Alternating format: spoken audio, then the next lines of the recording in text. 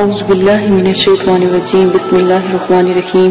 میرے پیارے سبسکرائبر اور پیارے بہن بھائیوں، چھوٹا سا پیغام، چار چیزیں ہوتی اور چار چیزیں نہ ہوتی حضرت موسیٰ علیہ السلام نے اللہ تعالیٰ سے عرض کی کہ اے پروتگار اچھا کام ہوتا، چار چیزیں ہوتی اور چار چیزیں نہ ہوتی اللہ تعالیٰ نے فرمایا، کون کون سی؟ حضرت موسیٰ علیہ السلام نے عرض کیا زندگی ہوتی، موت نہ ہوتی، دولت ہوتی، تندرستی نہ ہوتی، جنت ہوتی دوزک نہ ہوتی، صحت ہوتی، بیماری نہ ہوتی۔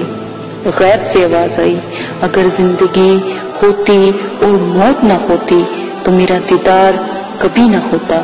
اگر دولت ہوتی اور تندرستی نہ ہوتی تو میرا شکر کون ادا کرتا؟ اگر جنت ہوتی اور دوزخ نہ ہوتی تو میرے عذاب سے کون ڈرتا؟ اگر صحت ہوتی اور بیماری نہ ہوتی تو مجھے یاد کون کرتا؟ میرے پیارے سبسکرائبر، رب کی رحمتوں سے اللہ نے ہمیں ایک ایک چیز سے نوازا، رحمتوں سے نوازا، عظمتوں سے نوازا۔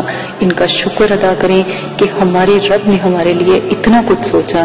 کیا ہم اپنے رب کے لیے ایک نماز نہیں پڑھ سکتے، توبہ کے دو نفل نہیں پڑھ سکتے، کیا ہم اپنے رب کو منانے میں اتنی دیر کر رہے ہیں؟ کیا ہم اپنے رب سے جو مانتے ہیں کیا نہیں ملتا؟ میرے رب نے فرمایا کہ اے بندے، جب تم مجھ سے مانگتا ہے، تو میں تیرے لیے وہ چیز عطا کرتا ہوں جو تیرے لیے بہتر ہوتی ہے، نہ کہ وہ چیز جو تیری پسند ہوتی ہے۔ میرے پیارے سبسکرائبر، میرے پیارے بہنوں، بھائیوں، رب کی طرف لوٹو۔ نیند کا راستہ اپناؤ۔ وقت دیکھو کون سا چل رہا ہے۔ وقت دیکھو کیا آ گیا ہے۔ آج کا سورج دوبارہ کبھی تلو نہیں ہوگا۔ آج کا دن دوبارہ پلٹ کر واپس نہیں آئے گا۔ آج کے دن میرے پیارے سبسکرائبر دعاؤں سے اپنی جھولیوں کو بھر لو، وقت گزرے جا رہا ہے۔ ایک پل کی خبر نہیں ہے۔ خدا را اپنے آپ کو بلند کرو۔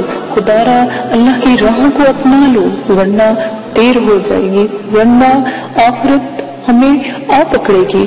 ورنہ موت ایک منٹ نہیں لگائے گی۔ میرے پیارے سبسکرائبر، اگر میری بات کو بری لگتی ہے تو اس کے لیے معافی۔ پر دعا کرتی ہوں۔ اللہ پاک، میری ایک بھی بات پر آپ کو قائم دائم رکھے، ہمیشہ آپ کو سلامت رکھے۔ آپ میری تمام باتوں کو اپنے دل سے سنا کریں۔ اور اگر آپ کو یہ بات پسند آتی ہے، تو لوگوں کو شیئر کریں تاکہ لوگ بھی اس سے فائدہ حاصل کر سکیں۔ اجازت دیں۔ اللہ حافظ۔